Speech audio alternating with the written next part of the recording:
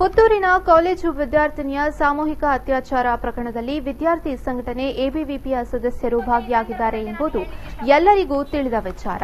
ಈ ಕಾರಣಕ್ಕಾಗಿ ಬಿಜೆಪಿಯ ಅಥವಾ ಸಂಘ ಪರಿವಾರದ ಯಾವ ನಾಯಕರು ಮಾತನಾಡ್ತಾ ಇಲ್ಲ.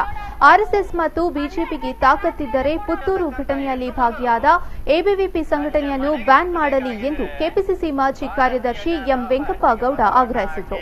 ಅವರು ಪುತ್ತೂರಿನ ವಿದ್ಯಾರ್ಥಿನಿಯ ಮೇಲಿನ ಸಾಮೂಹಿಕ ಅತ್ಯಾಚಾರ ಖಂಡಿಸಿ ಸುಳ್ಯ ಬ್ಲಾಕ್ ಕಾಂಗ್ರೆಸ್ ಮತ್ತು ಇತರ ಘಟಕಗಳ ವತಿಯಿಂದ ಸುಳ್ಯ ಖಾಸಗಿ ಬಸ್ ನಿಲ್ದಾಣದ ಬಳಿ ನಡೆದ ಪ್ರತಿಭಟನೆಯನ್ನು ಉದ್ದೇಶಿಸಿ ಮಾತನಾಡಿ, ಚುನಾವಣೆಗೆ ಮುಂಚೆ ಬಿಜೆಪಿಯವರು ವಾಟ್ಸ್ಆಪ್ ಸಂದೇಶದಲ್ಲಿ ಮಾತೆಯರಿಗೆ ರಕ್ಷಣೆ ದೊರಕಲು, ಗೋವುಗಳು ಹಟ್ಟಿ ಸೇರಲು, ಕಾಲೇಜು ವಿದ್ಯಾರ್ಥಿನಿಯರು ಮನೆ ಸೇರಲು ಬಿಜೆಪಿಗೆ ಮತ ನೀಡಿ ಎಂದು ಪ್ರಚಾರ ಮಾಡಿದ್ರು.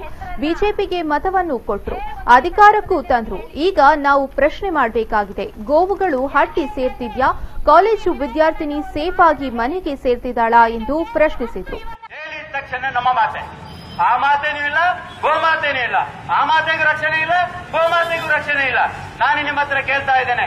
ಆ ಮಾತೆ ಅನ್ನುವಂತ ಖ್ಯಾತೆ ತೆಗೆಯತಕ್ಕಂತ R S S, Bharatiya Janata Party, Bajrang Dal, ಇವತ್ತು ಏನು ಎಬಿವಿಪಿ ನೀವೆಲ್ಲ ಬರಬೇಕಿತ್ತು. ನೀವೆಲ್ಲ ಸೇರಿ ಈ ಪ್ರತಿಭಟನೆಯನ್ನ ಮಾಡಬೇಕಿತ್ತು. ಯಾಕೆ ಮಾಡ್ತಾ ಇಲ್ಲ?